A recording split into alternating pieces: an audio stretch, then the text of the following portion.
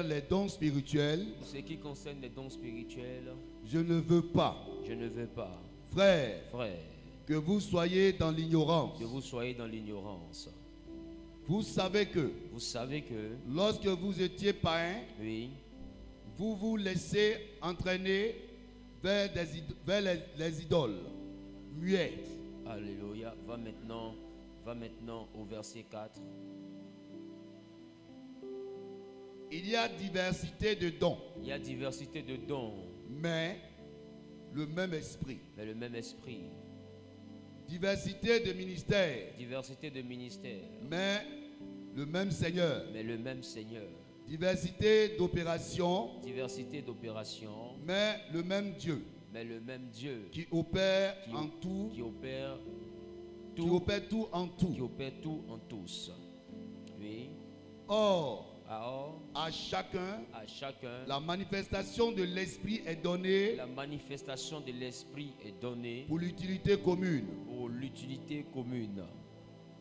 En effet, En effet, à l'un est donné à l'un est donné par l'esprit une parole de sagesse, par l'esprit une parole de sagesse, à un autre à un autre une parole de connaissance, une parole de connaissance. selon le même esprit. Alléluia. Dieu te bénisse. Assieds dans la présence de Dieu. Reçois mes salutations au nom de Jésus-Christ. Amen. Que l'Éternel soit ta bénédiction aujourd'hui encore. La Bible dit une chose. La Bible dit, selon Paul, il dit à l'église de Corinthe, aux chrétiens à Corinthe, il dit, je ne veux pas que vous soyez dans l'ignorance en ce qui concerne les dons spirituels. Dis à ton voisin, ne sois pas ignorant sur les dons spirituels. Ne sois pas ignorant sur les dons Dis à ton voisin, ne sois pas ignorant au sujet des dons spirituels. Ne sois pas ignorant au sujet des dons spirituels. Alléluia. Amen. Il dit, quand nous étions païens, nous, nous allions vers des idoles qu'il appelle des idoles muettes. Mais maintenant, nous sommes dans une dimension où nous appartenons à Jésus. Et étant membres du corps de Christ, nous ne devons pas être ignorants sur les capacités surnaturelles qui peuvent habiter la vie d'un enfant de Dieu. Alléluia. Amen. Cela veut dire que quand nous rentrons en Jésus, nous ne sommes pas seulement que des personnes qui écoutons la parole de Dieu, mais nous sommes des personnes aussi qui arrivons à transporter la puissance de Dieu. Alléluia. Amen. Et, et c'est à ce niveau-là que tu dois chercher à arriver, le niveau où tu transportes la puissance de Dieu. Alléluia. Amen. Le niveau où tu manifestes la puissance de Dieu. Il dit, il dit, il dit la manifestation de l'esprit est donnée d'une façon particulière à chacun pour le bien de tous. Alléluia. Amen. Donc ça veut dire que chacun, chacun peut recevoir de la part du Saint-Esprit un type de manifestation particulière. Dis à ton voisin, tu as une manifestation particulière de Dieu à, à exprimer. Tu as une manifestation particulière de Dieu à Dis exprimer. à ton voisin, tu as une manifestation particulière de Dieu à exprimer. Alléluia. Donc la manifestation est donnée à chacun de manière particulière. Alléluia. Amen. Donc il est important de comprendre que dans la présence de Dieu, toi qui es en train de me suivre, tu dois être capable de manifester l'Esprit de Dieu, la puissance de l'Esprit de Dieu. Et nous avons des dons qu'on appelle des dons spirituels. Depuis dimanche dernier, j'ai ouvert l'enseignement sur les dons spirituels et je n'ai pas manqué de te faire comprendre que les dons spirituels étaient, selon le grec, pneumatikos. Pneumatikos, ce qui signifie quelque chose qui appartient à l'esprit. Pourquoi je parle du grec? Parce que l'Ancien Testament a été écrit en hébreu et le Nouveau Testament a été écrit en grec et en araméen. Paul a écrit en grec parce que Paul était romain d'adoption. Amen. Paul était nommé d'adoption, mais juif de naissance. Amen. Et notre Seigneur Jésus ne parlait pas hébreu, notre Seigneur Jésus parlait araméen. Alléluia. Qui me comprend, qui me dit Amen? Amen. Donc quand on parle de ce que Paul a évoqué dans le livre de, Corinth- de Corinthiens, nous ne pouvons que chercher à comprendre la définition et la définition grecque de ce qui- de ce qu'est le don spirituel. Et la définition grecque fait mention de pneumatikos, ça veut dire quelque chose qui appartient à l'esprit de Dieu. Une chose qui appartient à l'esprit de Dieu. Dis à ton voisin, tu as besoin du pneumatikos. Besoin du. Tu as donc besoin d'un élément qui appartient à Dieu. tu as besoin d'un élément qui appartient à Dieu. Alléluia. Dis, dis, j'ai besoin d'un élément qui appartient à l'Esprit de Dieu. J'ai besoin d'un élément qui appartient à l'Esprit de Donc, Dieu. aussi longtemps qu'en toi, dans ta vie de tous les jours, il n'y a pas un élément qui atteste la manifestation de l'Esprit de Dieu en toi, il y a un problème. Alléluia. Tu dois être capable de comprendre que quand l'Esprit de Dieu te rend visite, c'est comme, c'est- il vient toujours avec un présent, il vient avec un cadeau. Vous savez, dans, dans- dans les manifestations, dans les manifestations d'une certaine dimension, les anniversaires de personnes d'une certaine dimension, est-ce que est-ce que c'est convenable d'arriver dans un anniversaire les mains vides? Est-ce que c'est convenable d'arriver même à un dîner chez quelqu'un les mains vides? Majoritairement, vous allez voir que, que la personne qui vient chez, chez, chez, chez son hôte, réellement arrive réellement avec toujours un présent, arrive toujours avec quelque chose qu'il donne en plus par rapport à la cérémonie. Alléluia. Ça veut dire que le Saint-Esprit a cette dimension d'éducation. Il ne vient pas dans ta vie sans te donner quelque chose qui lui appartient. Le Saint-Esprit ne vient pas dans ta vie sans te donner quelque chose qui lui appartient. Et mais, il y a des personnes qui ne fonctionnent pas comme le Saint-Esprit. Non seulement ces personnes viennent les mains vides dans la fête d'autrui, mais repartent les mains chargées. Dis à ton voisin, ça c'est pas l'éducation du Saint-Esprit. C'est-à-dire que tu ne peux pas avoir le Saint-Esprit, non seulement un, tu viens les mains vides, mais de deux, tu repars avec les sachets bleus, tu repars avec les sachets noirs, tu repars avec Coca-Cola dans ton sac. Dis à ton voisin, ça ce n'est pas la royauté. Dis voisin, ça là, ce n'est pas la royauté. Ça, ce n'est pas la, La loyauté. royauté, est-ce que tu sais qu'un roi n'emporte pas de nourriture chez lui à la maison? Alléluia. Tu sais, il a fait de nous un royaume et des sacrificateurs pour Dieu son Père. Ça veut dire que la dimension royale doit incarner. Un roi n'arrive pas d'en faire des gens, puis il lutte poulet, il lutte cuisse, il est là, il se fâche à Coca-Cola, j'ai pas trop bu, j'ai- attends. Un- Dis à ton voisin, un roi ne fait pas ça. Le roi ne fait pas ça. Est-ce qu'il y a des rois ici? Amen. Est-ce qu'il y a des reines ici? Amen. Dis à ton voisin, il ne faut plus faire ça. Tu arrives au restaurant, tu manges, tu n'as pas faim, tu dis bon, mettez, mettez tout dans le sachet. Vous avez compris? Mettez tout dans le sachet. Et puis ça là, et puis ça là, et puis tu prends la cuisse comme ça. Ça, il faut bien garder, ça tu as compris. Dis à ton voisin, la royauté ne fonctionne pas comme ça. La royauté ne fonctionne pas comme ça. Esprit d'emporter, libère la vie de ce peuple. Amen.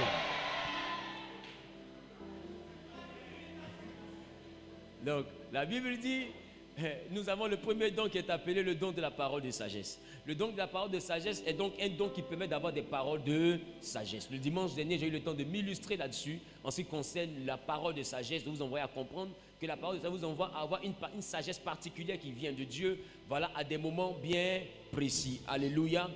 Quelqu'un a dit Amen. Amen. Quelqu'un a dit Amen. Amen. Quelqu'un a dit Amen. Amen. J'entends pas bien ton Amen. Amen. Et vous allez comprendre avec moi que le deuxième don dont il est question ici est le don de la parole de connaissance. C'est sur le don de la parole de connaissance que je vais donner l'enseignement aujourd'hui. Amen.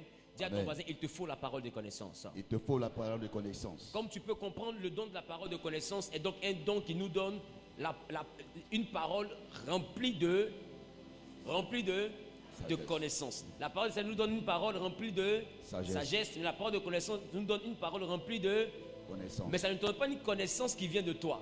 Je vous dis que c'est un pneumatikos, c'est quelque chose qui appartient à l'Esprit de Dieu. Donc ça veut dire que la connaissance que ta parole va véhiculer sera une connaissance qui n'est pas de ton intelligence. C'est une connaissance qui appartient à la sagesse de Dieu. C'est une connaissance qui, qui, qui, qui, sort du savoir de Dieu, qui sort de, de, de la culture, de, de, de, de la dimension, de la dimension de compréhension de Dieu. Amen. Donc Amen. la parole de connaissance est un don qui est très très très spectaculaire parce que ce don-là te donne de pouvoir avoir accès à une portion de ce que Dieu sait. Est-ce que quelqu'un me comprend Donc du coup, tu n'auras pas une approche humaine de certains sujets. Tu n'auras pas une, approche humaine de, de certaines choses. Parce que ton approche, quand tu vas ouvrir la porte, quand tu vas ouvrir la bouche, ce sera afin de dire des choses que Dieu seul sait. Aucun homme ne peut savoir ce que la parole de connaissance est capable de donner. Aucun homme ne peut savoir ce que la parole de connaissance est capable même de révéler. Souvenez-vous, la Bible dit, les choses révélées sont aux hommes, les choses cachées sont à Dieu. La parole de connaissance appartient à ce qui est à Dieu, donc la parole de connaissance te révèle les choses qui sont cachées. Est-ce que quelqu'un me comprend un peu? Quand tu as la parole de connaissance, tu peux être chez toi à la maison et Dieu va te montrer ce qui se passe dans le travail. Tu peux arriver dans ton, lieu de travail et Dieu va te montrer quelque chose réellement qui s'est passé quand tu n'étais pas là. La parole de connaissance te donne d'avoir la connaissance de ce que Dieu sait. Est-ce que tu peux imaginer tout ce que Dieu sait? Non. La Bible dit il est omniscient.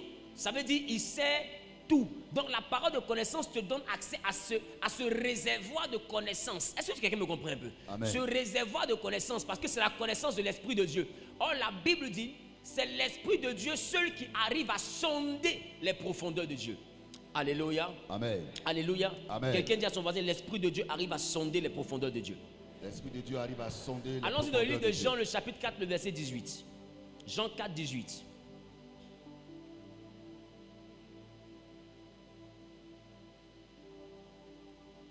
Jean 4, 18. Car tu as, tu as eu cinq maris, et celui que tu as maintenant n'est pas ton mari. Oui, En cela, tu as dit vrai. oui, Seigneur, oui, lui dit la femme, oui. Je vois que tu es prophète. Amen. Vous voyez, la femme dit, Seigneur, je vois que tu es prophète. Pourquoi? Parce qu'en en Israël, dans l'Ancien Testament, c'est les prophètes qui avaient la capacité de manifester ce qu'on appelle aujourd'hui la parole de connaissance. Sinon, la parole de connaissance n'est pas le prophétique. La parole de connaissance est un don qui peut, qui peut se jumeler au prophétique. Est-ce que quelqu'un me comprend? Mais la parole de connaissance n'est pas le prophétique. Et comme ils ont vu que l'Ancien Testament, c'était que les prophètes qui se manifestaient, avec les Élie, les Élisée, les Josué, il n'y avait pas de docteur dans l'Ancien Testament, non, il n'y avait pas d'apôtres dans l'Ancien Testament, il n'y avait pas d'évangélistes dans l'Ancien Testament, il n'y avait même pas de pasteurs dans l'Ancien Testament. Les hommes de Dieu qui se manifestaient majoritairement, c'était les prophètes, et au-delà des prophètes, les sacrificateurs. Et Jésus, étant le sacrificateur par excellence selon l'ordre de Melchisédek, a, a mis un saut à l'ordre de la sacrificature sous forme d'immolation d'animal, mais a ouvert une autre dimension de, de l'œuvre de Dieu qu'on appelle les ministères. Et il a donné naissance aux cinq dons de ministère qu'on appelle l'apôtre, le docteur, le prophète, le pasteur et l'évangéliste. Alléluia. Donc les cinq dons de ministère maintenant sont confirmés dans le Nouveau Testament. Mais dans l'Ancien Testament, le seul, le seul don de ministère qui existait, c'était le ministère prophétique. Donc quand les, quand le- quand les prophètes donnaient des révélations sous forme de paroles de connaissance, on avait l'impression qu'ils prophétisaient. Or, prophétiser, c'est différent de les paroles de connaissance. Alléluia. Amen. Et la Bible dit que notre Seigneur Jésus, selon le livre de Jean, va aller à Samarie et pendant qu'il était devant la ville, il eut soif. Et une femme était en train de puiser de l'eau au niveau du puits. Et la Bible dit qu'il va demander à la femme de lui donner de l'eau. Et pendant qu'il demande à la femme, la femme remarque qu'il est juif. Elle lui dit, mais toi avec ton accoutrement, avec ta, manière, ta morphologie, ta façon d'être, je sens que tu es juif. Mais moi, je suis samaritaine. Depuis quand entre juif et samaritain, on se parle jusqu'à se rendre service. Parce qu'il y avait un problème entre les juifs et les samaritains. Pourquoi? Parce que c'était un problème doctrinal, c'était un problème de prière, un problème religieux. Les samaritains allaient adorer Dieu sur les montagnes. Les juifs disent non, c'est pas sur les montagnes, mais nous on doit, adorer Dieu plutôt à Jérusalem. Donc ils étaient divisés du point de vue de ce concept-là. Et aujourd'hui, beaucoup dans l'église fonctionnent comme les juifs et les samaritains. Ils se divisent parce qu'un dit non, pour prier, il ne faut pas porter chaussures. L'autre dit pour prier, il faut être silencieux. Les évangéliques disent pour prier, il faut crier. Et chacun a sa doctrine, chacun a sa manière de voir les choses. Et on a l'impression que parce que nous voyons des choses différemment, Dieu ne va pas nous visiter. J'ai envie de dire à quelqu'un, Jésus était pour les juifs, mais il a aussi visité les samaritains. Malgré la différence d'adoration, il a visité les deux peuples. Je suis en train de dire à quelqu'un, à quelqu'un ne m'a pas dit Amen pour que je parle. Amen. Malgré la différence dans la manière d'adorer, il a quand même visité les deux peuples. Dis à les deux peuples. A deux peuples. Donc la manière différente d'adorer Dieu ne fait pas de nous des peuples ennemis. D'autres même se parlent mal comme s'ils ne se connaissaient pas, comme s'ils ne sont pas frères. Pourquoi? Parce que la manière dont toi tu l'adores, ce n'est pas la manière dont l'autre l'adore. J'ai envie de te dire, Dieu se manifeste de manière particulière et singulière à chaque personne. Le désert d'Abraham n'était pas le même désert d'Isaac. La Bible dit que la famine d'Abraham était différente de la famine d'Isaac. Le désert dans lequel Moïse a marché est différent du désert dans lequel Jésus a été éprouvé. Chacun a sa manière de fonctionner avec Dieu. Chacun a sa manière d'avancer avec Dieu. Chacun a son parcours avec Dieu. Chacun a son mode opératoire avec Dieu. Celui qui dit Amen, bien Dieu lui montre comment il fonctionnera avec lui. Donc toi qui es à côté, tu peux être juif. L'autre qui est à côté peut être un samaritain. Toi, tu peux croire seulement qu'en l'église, lui peut croire aux actions prophétiques. Ça ne veut pas dire que les actions prophétiques sont mauvaises. Ça ne veut pas non plus dire aussi que l'église aussi est mauvaise. Les deux, choses sont, les deux choses sont bonnes, mais chacun manifeste selon ce que Dieu lui a donné de savoir. Selon qu'il est écrit, nous connaissons en partie et nous prophétisons même en partie. Donc si toi tu as une partie selon la Bible, parce que la Bible dit que toi tu prophétises et tu enseignes selon une partie que Dieu t'a répartie. Et par rapport à cette partie qui t'a été répartie, tu es capable de donner une dimension de la vérité. Mais la vérité que tu donnes n'est pas toute la vérité, parce qu'il y a une autre vérité qui ne sera pas dans ta vie, mais qui sera dans la vie de ton voisin. Et ce voisin-là, tu dois aussi le considérer, parce que lui aussi, il détient un autre morceau, un autre fragment, un autre élément de la vérité. Je parle à quelqu'un qui se lève, qui dit Amen bien. Que Dieu te conduise dans une dimension de la vérité au nom suprême de... Celui qui fait un pas en avant, qui dit Amen bien en saisissant la parole, reçoit la parole de connaissance au nom suprême de... Jésus. Dis avec moi la parole de connaissance. La parole de Dis connaissance. avec moi la parole de connaissance. La parole de connaissance. Donc Jésus dit à la femme, j'ai besoin, puisque tu ne veux pas me donner de l'eau, j'ai besoin de te dire, si tu me donnes de l'eau que je bois, l'eau que moi je te donne est meilleure par rapport à l'eau que moi je te demande. Est-ce que tu comprends donc qu'avant de te donner une eau, Dieu te demande de l'eau?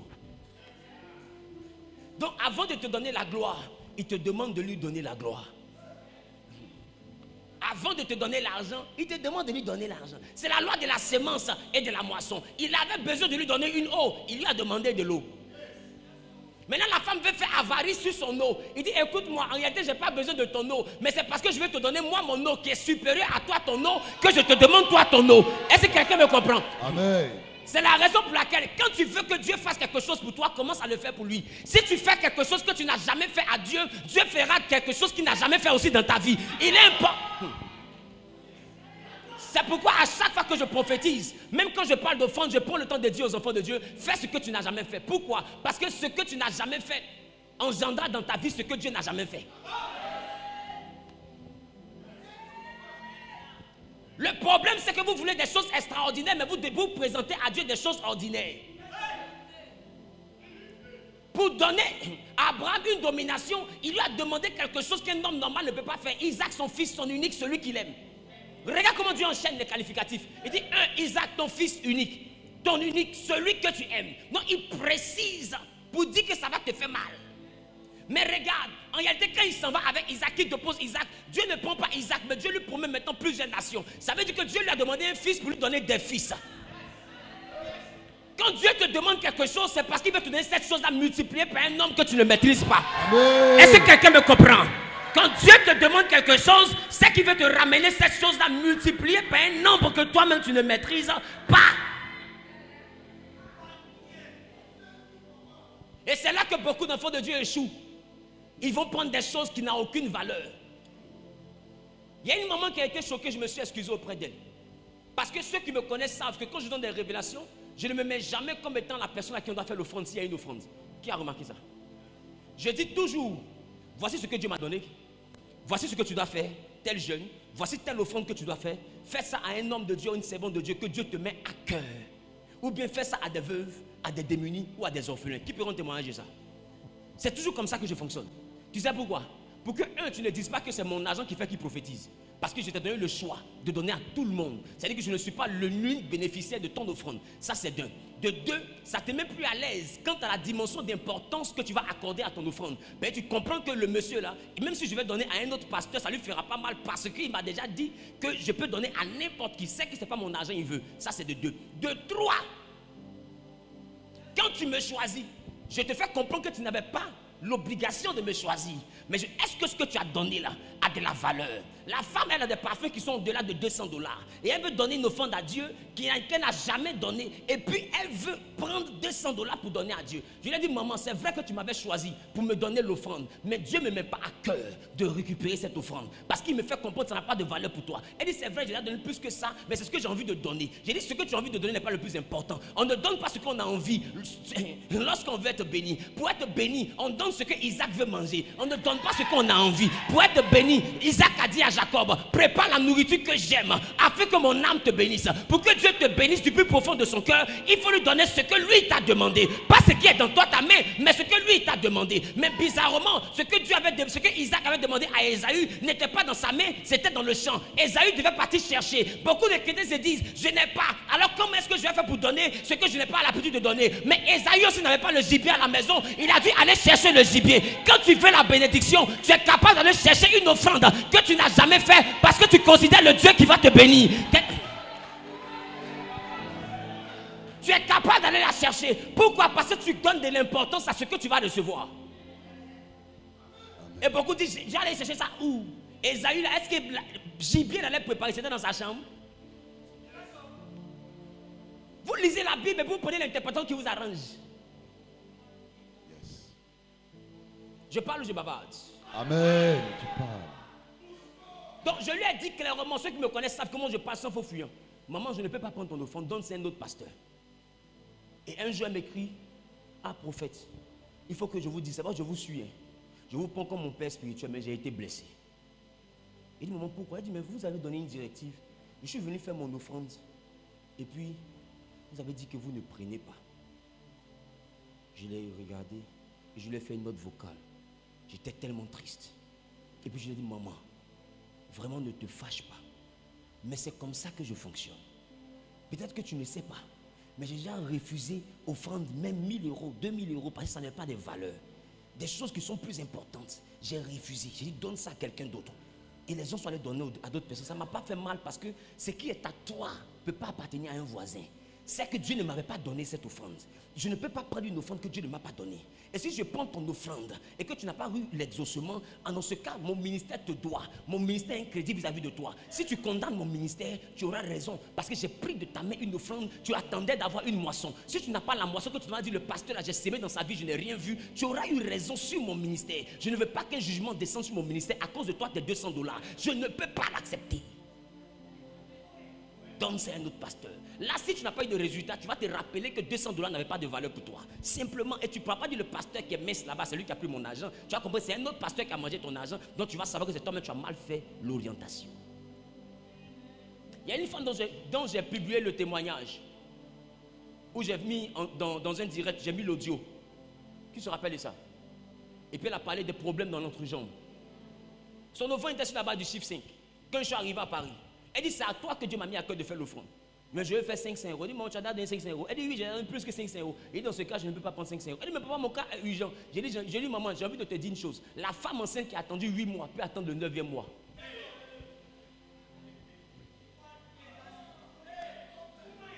Ton problème est urgent. Mais si avec le problème, tu as pu attendre 8 mois, tu peux attendre 9e mois. Donc ne te presse pas. Attends, prépare-toi. Et puis viens faire ton action.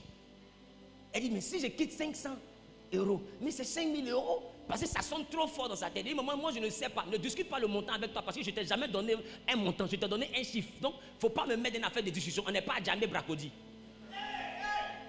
C'est pas à moi de calculer le prix. Enlève ça de mon ministère. Pardon. Si réfléchis dans ta tête, c'est tout ce que je veux. Elle dit dans ce cas, je vais tout faire pour faire. Elle s'est levée, elle a fait son offrande. Vous avez entendu son témoignage, non Ça a disparu jusqu'à aujourd'hui. Il n'y a plus ça. Oh, il a traîné ça pendant des années. Le problème, c'est que vous ne comprenez pas que quand un homme Dieu donne une orientation selon la dimension de la parole de connaissance, Dieu ne fait pas tomber la parole de son serviteur par terre. Il y a une- Aïe, aïe, aïe. Mais la prophétie ou la parole de connaissance dans ta vie a toujours une condition. C'est une dimension d'obéissance. Dieu accorde plus d'importance à l'obéissance qu'à ton sacrifice. Donc la manière de donner n'est pas plus importante. La manière de donner est plus importante que ce qu'on donne. Revenons à la parole de connaissance. Vous m'avez envoyé ailleurs. Donc, nous sommes donc en train de parler de cette Samaritaine. Jésus révèle à la femme. Il dit à la femme, va chercher ton mari. Elle dit, je n'ai pas de mari. Il dit, tu dis bien, parce que tu as eu cinq maris, celui à qui tu es là n'est pas ton mari. D'autres vont dire, ah, il a prophétisé. Elle-même, elle a dit, Jésus a prophétisé. Mais Jésus dit, non. Lui n'a pas prophétisé. Jésus n'a pas prophétisé. Jésus a manifesté un don qu'on appelle le don de la parole de connaissance. Ça veut dire qu'il était au puits. Quand il a vu la dame, ses yeux se sont ouverts. Et il a eu la connaissance de comment elle vit. Pour lui faire comprendre que elle a eu cinq maris. Et voilà. Et beaucoup, on voit ça souvent dans les programmes de prière. Non, ton enfant s'appelle tant, ta famille s'appelle tant, ta femme s'appelle tant, ton mari, qui me reprend un peu? Ton mari s'appelle tant, tu habites ici, tu habites là-bas. D'autres disent, mais où est l'importance? Où est l'importance de ce don? Cette révélation, ça aboutit à quoi? J'ai envie de te dire, c'est la prophétie qui aboutit à quelque chose. Mais la parole de connaissance n'aboutit pas à un, accomplissement. La parole de connaissance te révèle les détails de ta vie. Tu peux même les connaître, mais son but, c'est de révéler les détails de ta vie pour te montrer la suprématie en termes de compréhension de Dieu. Pour te montrer que Dieu te connaît tellement qu'il peut changer ta situation. La parole de connaissance n'est pas faite pour changer ta situation. Elle est faite pour te montrer que Dieu est assez grand pour changer ta situation. Donc ne confondez pas. Vous qui dites, non, tu révèles la douche, tu révèles la chambre, même couleur d'éponge. À quoi ça rime? Qu'est-ce que ça signifie? C'est du spectacle. Tu es sans connaissance. C'est pas du spectacle, c'est la manifestation de la parole de connaissance. Parce qu'en réalité, Jésus n'a pas donné mari à cette femme. Mais il a dit, où sont tes Où est ton mari? Elle dit, j'ai pas. Il dit, tu as eu cinq maris. Dis-moi, en quoi c'est utile dans la vie de la femme? Parce qu'après ça, elle s'est pas mariée. Tout ce qu'elle a fait, elle est rentrée, elle a fait sortir la ville parce qu'elle a dit, elle un grand prophète. Mais en réalité, on n'a jamais vu le verset où après ça, elle a été mariée. Il n'a pas fait délivrance, il n'a pas fait mariage, n'y a rien eu. Mais il a révélé les secrets de sa vie et ça suffit. Il y a des dimensions, Dieu révèle les secrets de ta vie et puis il, n'accomplit rien d'autre que révéler. Vous qui dites que ça ne sert à rien, le don où on révèle la vie cachée des gens. Pourquoi Jésus a fini de révéler la vie cachée des gens, il n'a pas dit à partir d'aujourd'hui, je déclare, tu vas te marier. Est-ce que c'est écrit quand il a fini, il est passé à autre chose. Le don de la parole de connaissance peut venir simplement, c'est toi debout. Je vois ton village, je vois ici, je vois ceci, je vois cela, je vois cela. Tu perds ton argent, voilà, voilà, voilà, voilà, voilà, voilà. Quand tu finis tous les détails, que Dieu te bénisse. C'est la parole de connaissance, ça s'arrête là. Dieu a trouvé la parole de connaissance s'arrête là. La parole de connaissance s'arrête là. Elle n'a aucune obligation d'accomplissement. Le don qui a une obligation d'accomplissement, c'est la prophétie. Voilà pourquoi la Bible dit si une prophétie tarde, attends-la, elle s'accomplira certainement. La parole de connaissance n'a pas pour but de s'accomplir. La parole de connaissance a pour but de révéler les choses cachées. La parole, c'est ça. En réalité, moi j'appelle le don de parole de connaissance le papato du Saint-Esprit. C'est le don papato. C'est la parole de connaissance qui fait que tu es assis comme ça, puis dans la main, tu vois qui est voleur. La parole de connaissance te fait, tu es assis comme ça au milieu de tes amis, ou bien tu es assis en train de, en train de causer avec quelqu'un d'autre, et puis tu entends ta camarade en train de parler mal de toi. Dieu te montre dans une vision ou bien dans un songe. La parole de connaissance n'est pas seulement quelque chose qu'on entend, ça se manifeste même dans les songes. Dans un songe, et la parole de connaissance vient dans le songe, et elle te présente une scène, et dans la scène, ça s'est déjà passé avant où ça se passe maintenant. Et les gens sont en train de te critiquer, sont en train de te calmer. Tu vois ça de manière claire et tu te réveilles. Après, tu, te réalises que ce que tu avais vu là, c'était la vérité. Ce que tu as manifesté dans le rêve, c'était une parole de connaissance. La parole de connaissance n'est pas seulement manifestée au pupitre, elle se manifeste même dans les rêves.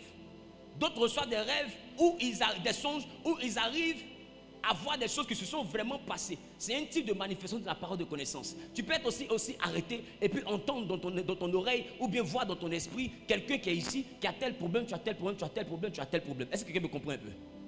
Qui me comprend? Amen. Qui me comprend? Amen. Qui me comprend? Je parle à quelqu'un ou pas? Amen. C'est bon? Amen. Quelqu'un dit la parole de connaissance. C'est un don trop excellent parce que ce don te permet de savoir avec qui tu marches. Ce don te permet de savoir avec qui tu marches. 90 à 95% des personnes que moi je fréquente, leur caractère ne m'étonne pas. Leur comportement ne m'étonne pas. 90 à 95%. Pourquoi? Parce que dans mon environnement, Dieu prend le temps de me montrer certaines choses. S'il ne m'a pas montré, c'est que tu es dans les 5%. Et lui, il sait pourquoi il ne m'a pas, montré. Parce que j'ai envie de te dire, Dieu permet souvent le malheur pour grandir son nom.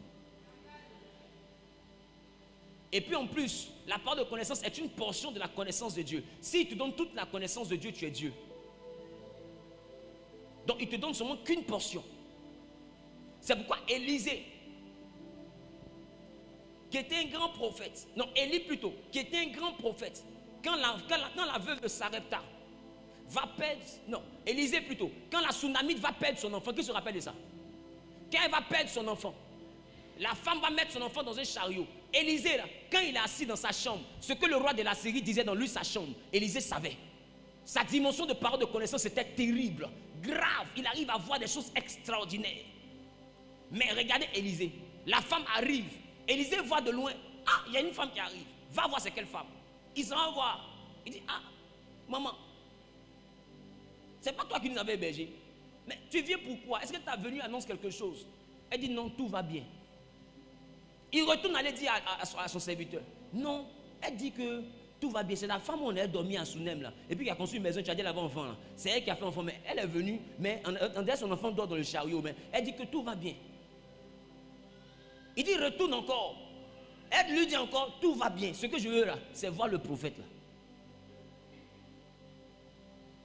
Et quand Élisée arrive, la femme le regarde et dit prophète. Est-ce que tu te rappelles que je t'ai dit que je voulais rien? Parce que tu es venu chez moi, tu as mangé. J'avais pas enfant, je ne me suis pas plaint. J'ai conçu une maison pour toi. Tu dors dedans, tu pries, tu manges encore pour compléter. Je n'ai rien dit, je suis d'accord. Ça, c'est mon cœur qui a voulu faire. Tu as voulu me rendre service. Je t'ai dit, c'est bon. Tu dis non, comme je n'ai pas enfant, il faut que je fasse enfant. Je t'ai dit, je ne veux pas. Tu as dit, fait que l'année prochaine, je vais avoir enfant. J'étais déjà à l'aise dans, ma stérilité. Je me suis déjà habitué à la stérilité. Mais est-ce que tu es venu chez moi pendant que moi je t'ai fait du bien? Et puis toi, tu me donnes d'avoir un enfant pour connaître la douleur de perdre un enfant. Je t'avais pourtant dit que je ne voulais pas. Mais vous les prophètes, on vous parle, vous n'écoutez pas. Non, la femme est venue en ramba. Qui me comprend C'était un naga qui était venu vers Élisée. Et puis écoutez la parole d'Élisée. Élisée dit, oh éternel, une telle chose se passait et tu me l'as caché. Le grand Élisée, prophète authentique, qui voit, qui revoit et qui survoit. L'homme qui a l'œil ouvert, jusqu'à il fait trembler toute une nation. Petit cadavre, il n'a pas vu. Il dit, tu me l'as caché. C'est que dans la dimension de parole de connaissance, il y a des choses que Dieu peut cacher. C'est pourquoi je me, je me plais à dire entre 90 et 95%. Parce qu'il peut y avoir entre 10 et 15% que Dieu te cache. Est-ce que je parle à quelqu'un? Amen. Mais la parole de connaissance est très utile. Elle te permet de savoir qui est autour de toi.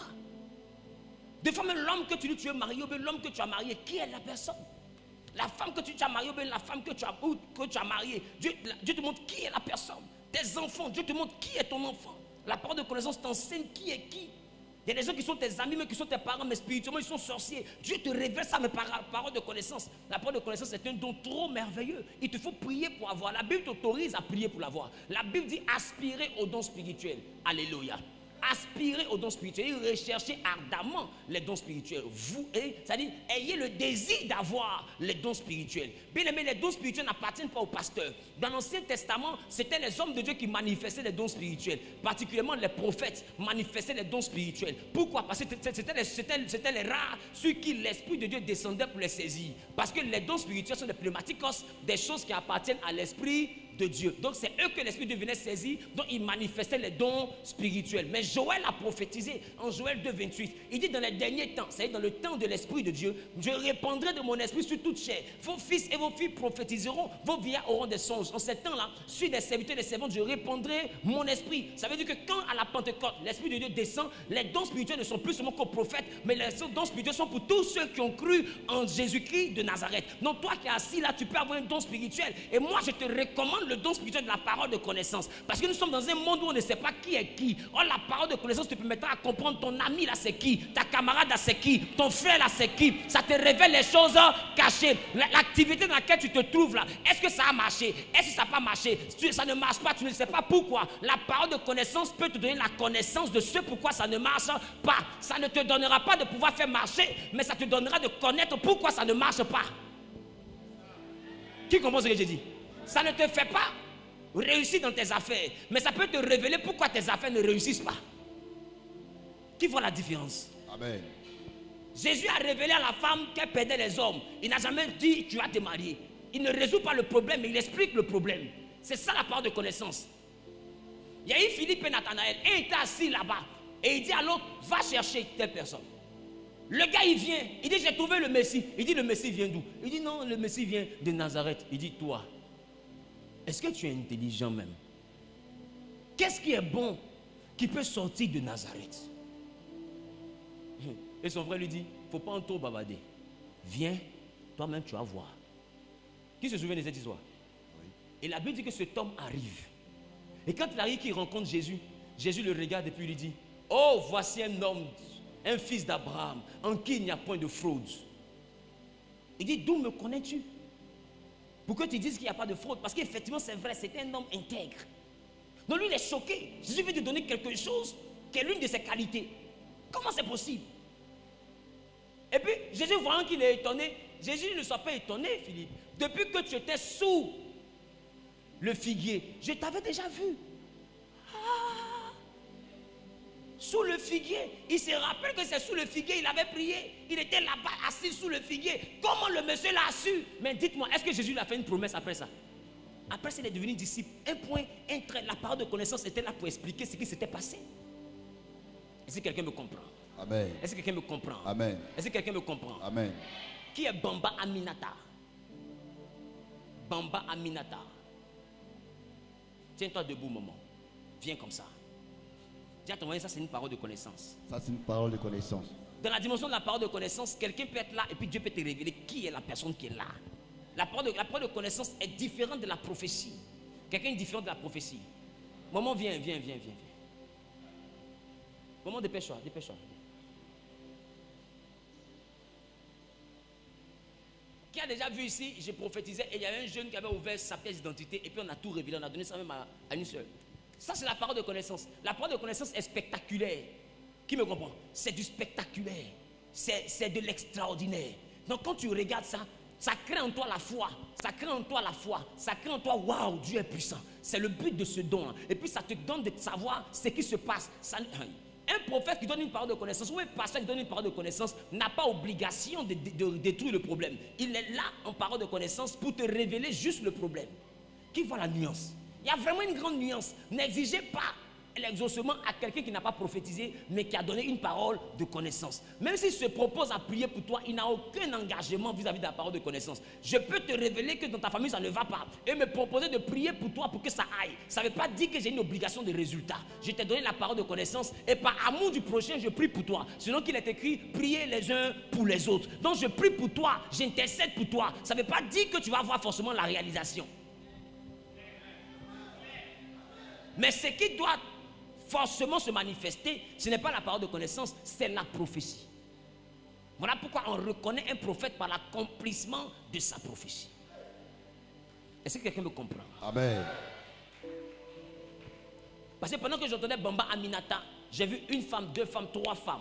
Et c'est comme si elle fait partie de ces femmes-là, auprès d'un homme. Mais cet homme, il est musulman. Tu m'as entendu? Est-ce que tu as entendu? Tu es marié Tu es marié à un musulman Tu es- Il y a combien de femmes? Vous êtes deux. Bouge comme ça. C'est toi qui as de faire Kézougou là. Faire Kessé ou bien quoi là? De. euh. C'est dans la même zone Un peu plus loin. Lève les deux mains.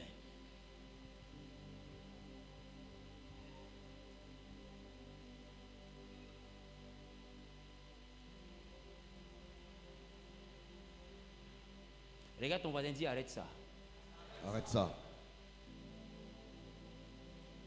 Regarde ton voisin, dis arrête ça. Arrête ça, voisin.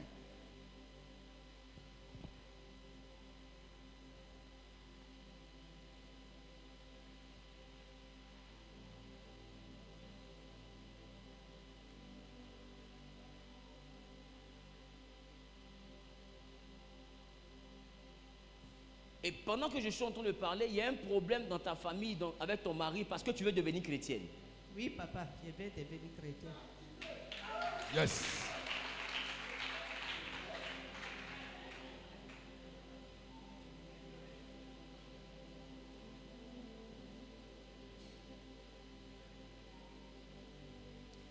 Et je te vois dans la zone d'Abobo. Vous habitez à Bobo, Oui, papa. derrière Rail. Oui, papa. Je suis, je suis dans votre maison, c'est comme si c'est une petite villa, villa basse. Oui, papa. Et Yes.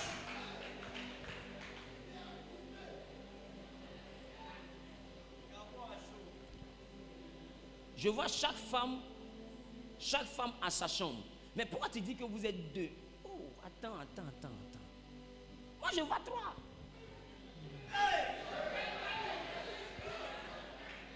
Parce qu'actuellement même, vous êtes trois.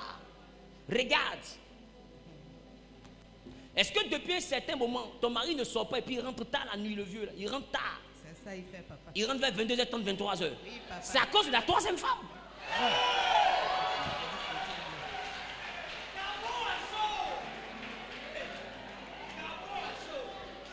C'est à cause de la troisième. Parce que toi, c'est Aminata. Oui, papa. Mais celle qui est ta, qui est ta- qui est ta- qui est- qui est- qui est- c'est rival, on appelle, non? La deuxième femme, la coépouse, celle qui est la coépouse, là, elle s'appelle Awa. Awa. Awa, c'est ça, non? Elle a deux enfants. Oui, Et puis toi, tu as eu trois enfants. Oui, c'est de ça que je parle. Amen.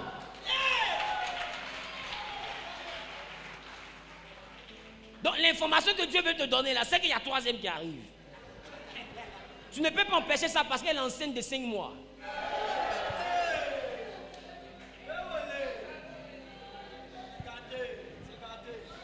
Habite le quartier de ton beau-frère. Ton beau-frère, bizarrement, je le vois, il s'appelle Youssouf. Ça. Il est imam. Ça.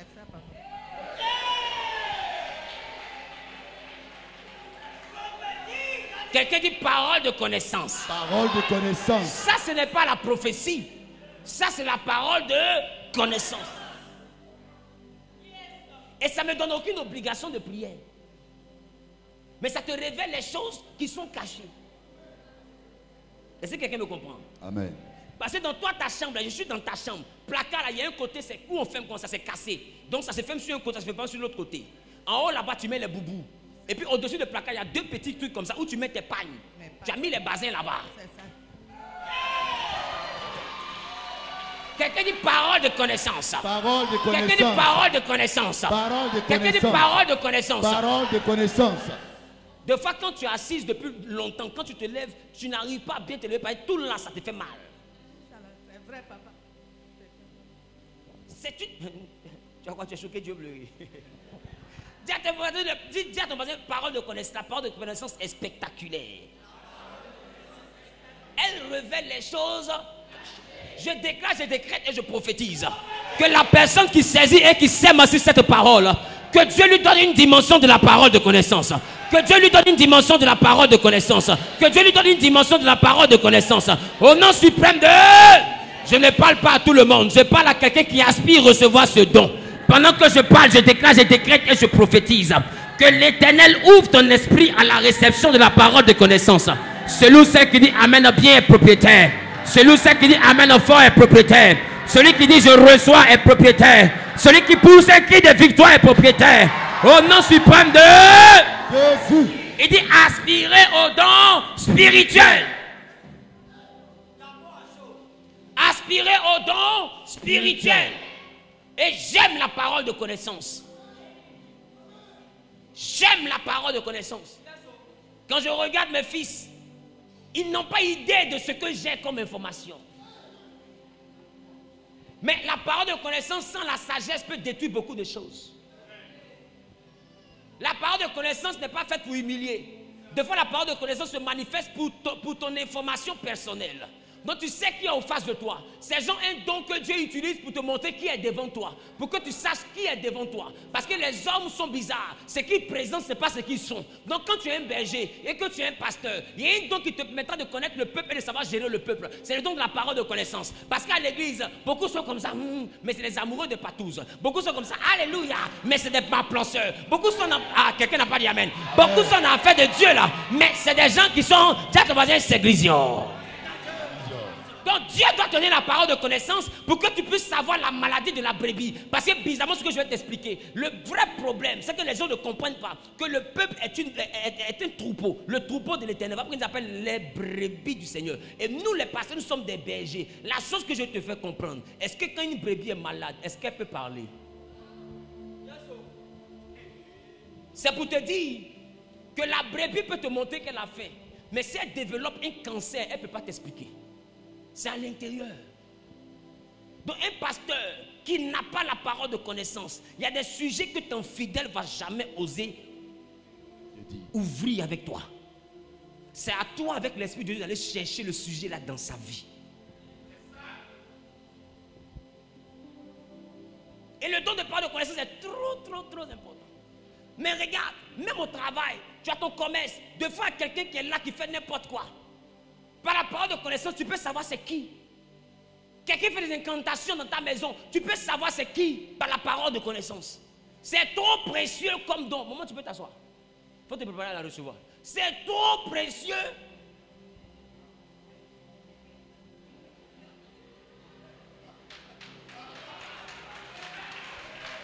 C'est trop précieux comme don. Vous savez, quand on est dans l'église ici, à 90%, ce que je manifeste, ce n'est pas la prophétie. C'est la parole de connaissance. Non, je vois tant, je vois tant, j'entends tant. Ce n'est pas la prophétie. Moi, je prophétise très rarement.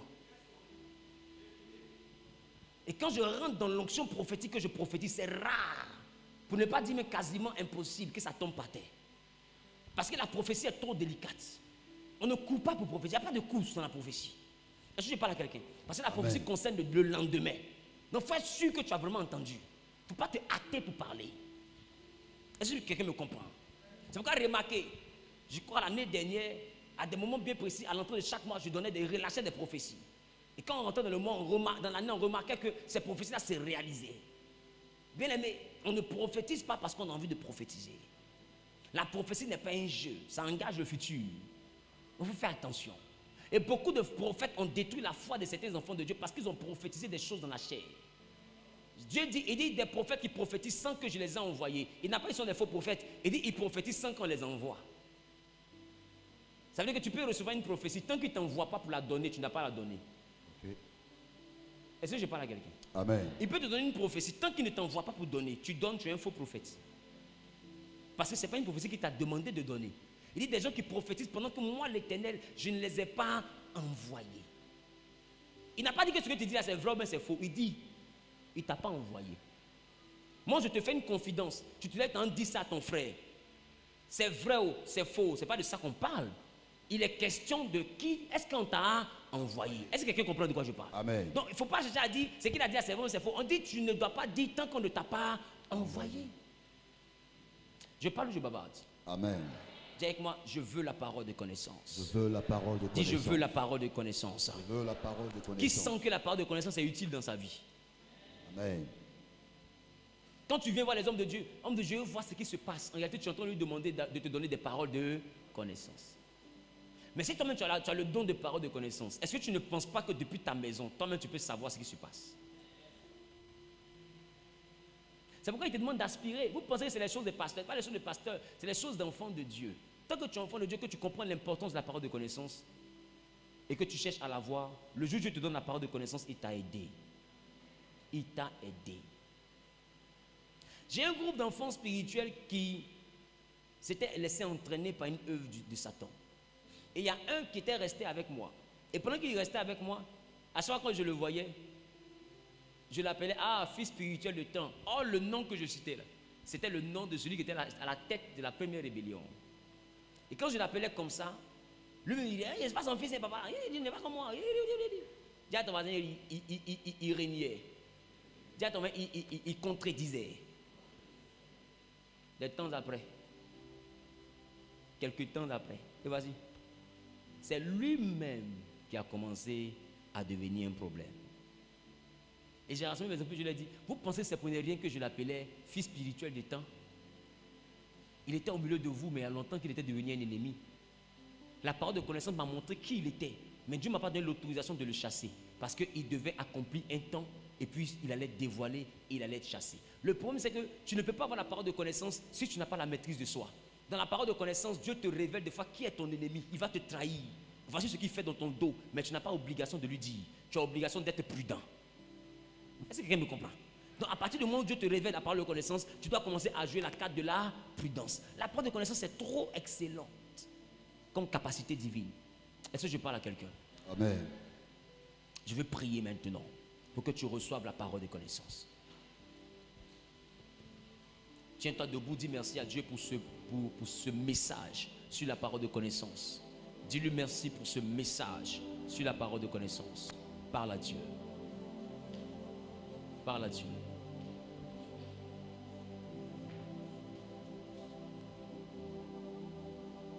Le peuple de Dieu qui est en train de semer pour saisir la parole, restez devant. Je veux de l'huile. Quand vous faites votre offrande, mettez-vous sur le côté comme ça.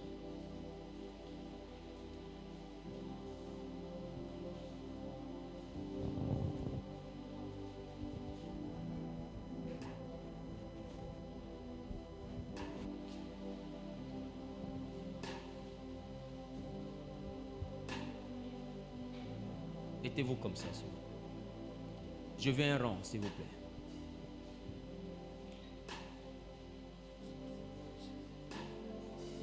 Je veux un rang, s'il vous. Viens avec de l'huile, s'il te plaît. Vous savez, la Bible dit en 1 Corinthiens, le chapitre 2, le verset 10. La Bible dit Dieu nous les a révélés par l'Esprit. Car l'Esprit sonde toutes choses, même les profondeurs de Dieu. L'Esprit sonde toutes choses, même les profondeurs de Dieu. Ça veut dire que la parole de connaissance t'envoie à savoir ce qui est dans les profondeurs de Dieu. Parce que c'est donné par le Saint-Esprit. Or, le Saint-Esprit a accès aux profondeurs, à la profondeur de Dieu. Il peut sonder Dieu. Donc, ça veut dire qu'il y a des choses que Dieu lui-même ne peut pas dire. L'Esprit de Dieu peut aller chercher dans la profondeur de Dieu pour venir te révéler ça. La Bible dit c'est l'Esprit qui nous les a révélés. Dieu nous a révélés, mais pas l'Esprit. Il y a des choses qui appartiennent au conseil de Dieu que tu peux savoir par la parole de connaissance. Michel dit il y a eu une réunion au ciel. Parole de connaissance. Il lui explique ce qui s'est passé au ciel. Comment quelqu'un qui est sur la terre peut expliquer avec précision ce qui s'est passé dans le ciel? Dis avec ma parole de connaissance. La parole de connaissance dans la vie de Michel l'a envoyé jusqu'à savoir ce qui s'est fait au ciel. Regardez la dimension de ça. Regardez cette dimension. Alléluia. Alléluia. Alléluia. Alléluia. J'entends pas bien, j'entends pas bien. Donne-moi un bon amen.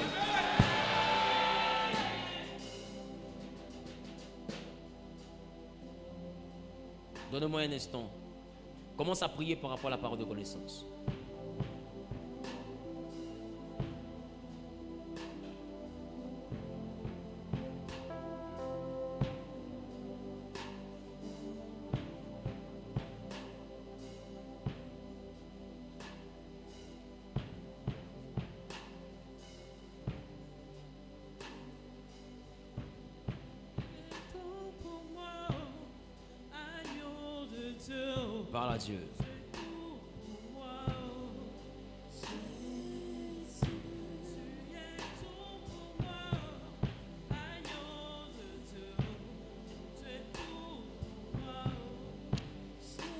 Dieu, parle à Dieu, parle à Dieu, parle à Dieu. Quelqu'un a dit Amen bien. Je vous lis le verset sur lequel je vais m'appuyer pour prier pour vous. Paul dit à son fils Timothée, il dit ne néglige pas le don qui t'a été fait par grâce. Il dit le don qui t'a été fait par grâce. Ça veut dire que tu n'as pas prié, c'est une faveur. C'est un don qui t'a été donné par grâce. Il est descendu dans ta vie par grâce. Ce n'est pas un mérite. Ce n'est pas, pas, pas le résultat d'une consécration. C'est le résultat d'une grâce. Alléluia. Il dit sur la base d'une prophétie, lorsque les responsables de l'église t'ont imposé les mains. C'est-à-dire que lorsqu'il y a eu imposition des mains, il a reçu un don par grâce. Donc le don peut se transmettre par imposition des mains. Et c'est ce que je m'apprête à faire. Et si quelqu'un me comprend, vous allez rentrer comme ça, vous allez sortir comme ça. Parle à Dieu, parle à Dieu, parle à Dieu. On peut donner un cantique d'adoration, s'il vous plaît. Je déclare, je décrète et je prophétise que vous tous qui êtes ici, pendant que je prie pour vous, par imposition des mains, que Dieu dépose dans votre vie la parole de connaissance et la parole de sagesse. Dans le nom puissant de Jésus-Christ de Nazareth, que l'Éternel vous envoie à parler avec sagesse, que l'Éternel vous envoie à parler avec sagesse, que l'Éternel vous envoie à parler avec une capacité de connaissance qui appartient à l'Éternel. Que le Saint-Esprit, à partir de ce jour, soit avec vous en tout en toutes circonstances pour vous permettre de sonder les profondeurs de Dieu, vous permet de comprendre ce que Dieu seul peut comprendre, de voir ce que Dieu seul peut voir, d'expérimenter cette capacité qu'est la parole de connaissance au nom suprême de Jésus-Christ de Nazareth. Que l'Éternel te fasse grâce au nom de Jésus. Que l'Éternel te fasse grâce de la parole de connaissance, de la parole de sagesse. Qu'il te fasse grâce de la parole de connaissance, de la parole de sagesse. Qu'il te fasse grâce de la parole de connaissance, de la parole de sagesse. Au nom de Jésus. Venez de deux. Qu'il te fasse grâce de la parole de connaissance et la parole de sagesse. Au nom de Jésus. Qu'il te fasse grâce de la parole de connaissance et la parole de sagesse. Au nom de Jésus. Qu'il te fasse grâce de la parole de connaissance et la parole de sagesse. Au nom de Jésus. Qu'il te fasse grâce la parole de connaissance et la parole de sagesse. Au nom de Jésus. Qu'il te révèle les choses cachées. La parole de connaissance et la parole de sagesse. Au nom suprême de Jésus. Qu'il te fasse grâce la parole de sagesse et la parole de connaissance. Au nom suprême de Jésus-Christ de Nazareth. Qu'il te fasse grâce la parole de connaissance et la parole de sagesse. Au nom suprême de Jésus. Qu'il te fasse grâce de la parole de sagesse et la parole de connaissance. Au nom suprême de Jésus. Qu'il te fasse grâce de la parole de sagesse et la parole de connaissance. Au nom suprême de Jésus. Qu'il te fasse grâce la parole de sagesse et la parole de connaissance. Au nom suprême de Jésus. Qu'il te fasse grâce. Qu'il te fasse grâce. Qu'il te fasse grâce. Qu'il te fasse grâce. de la parole de connaissance et la parole de sagesse. Au nom suprême de Jésus. Il est écrit que Timothée l'a- reçu par imposition des mains. Qu'il te fasse grâce, la parole de connaissance et la parole de sagesse. Au nom suprême de Jésus-Christ de Nazareth. Au nom suprême de Jésus-Christ de Nazareth. Qu'il te fasse grâce, la parole de connaissance et la parole de sagesse. Au nom suprême de Jésus-Christ de Nazareth. Qu'il te fasse grâce, la parole de connaissance et la parole de sagesse. Au nom suprême de Jésus. Reçois la parole de connaissance et la parole de sagesse. Au nom suprême de Jésus. Au nom suprême de Jésus. Au nom suprême de Jésus. Au nom suprême de Jésus. Au nom suprême de Jésus. Reçois la parole de connaissance et la parole de sagesse. Reçois la parole de connaissance et la parole de sagesse. Au nom suprême de Jésus. Qu'à partir d'aujourd'hui, que la parole de connaissance et la parole de sagesse soient manifestées pleinement dans vos vies. Au nom suprême de Jésus. Si ces dons étaient déjà présents, qu'ils étaient endormis, que Dieu les active à nouveau au nom suprême de Jésus. Recevez la parole de connaissance et la parole de sagesse. Au nom suprême de Jésus-Christ de Nazareth. Les. Recevez la parole de connaissance et la parole de sagesse. Au nom suprême de Jésus. Au nom suprême de Jésus. Au nom suprême de Jésus. Recevez la parole de connaissance et la parole de sagesse. Au nom de Jésus. Aidez-les à se mettre à genoux. Recevez la parole de connaissance et la parole de sagesse. Au nom suprême de Jésus.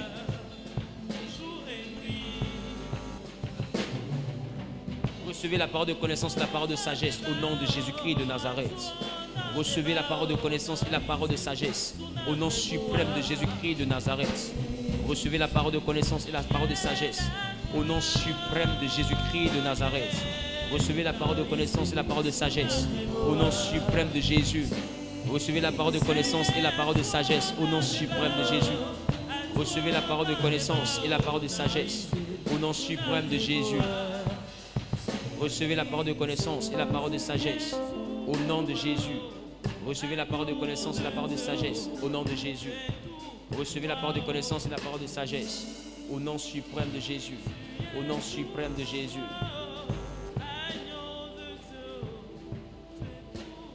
Tiens-toi debout, lève les deux mains, je veux prier. Je déclare, je décrète et je prophétise que l'Éternel accomplisse dans ta vie l'accomplissement, la manifestation de la parole de connaissance. Que pendant que je suis ici en train de prier, que Dieu active dans ta vie le don, la grâce de la parole de connaissance et de la parole de sagesse. Que les dons spirituels soient manifestés dans ta vie au nom de Jésus. Si les dons étaient déjà présents mais qu'ils étaient endormis, que le Saint-Esprit vienne les réactiver au nom de Jésus.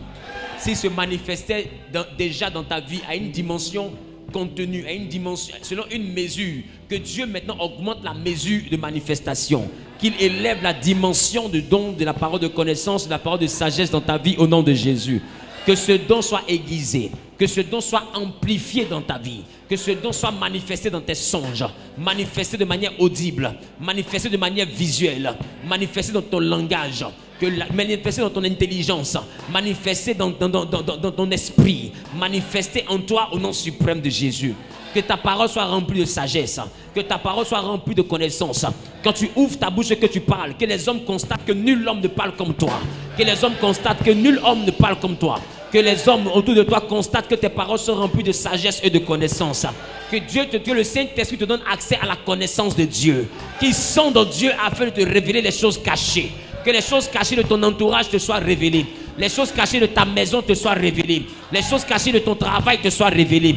Dans ta vie spirituellement, que les choses cachées qui se passent te soient révélées. Que tu sois connecté au secret divin. Que tu sois connecté au conseil divin. Que tu sois connecté à tout ce qui se manifeste de surnaturel. Que Dieu ouvre ton esprit afin que rien ne te surprenne.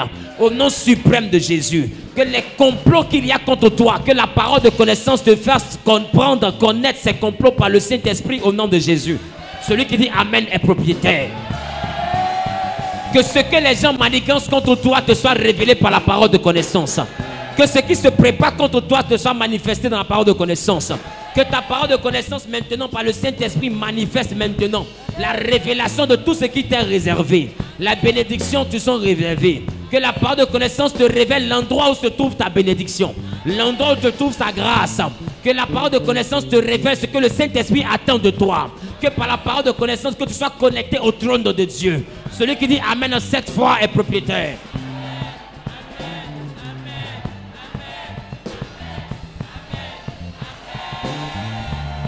Alléluia.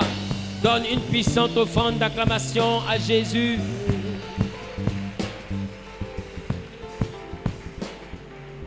Que Dieu vous bénisse.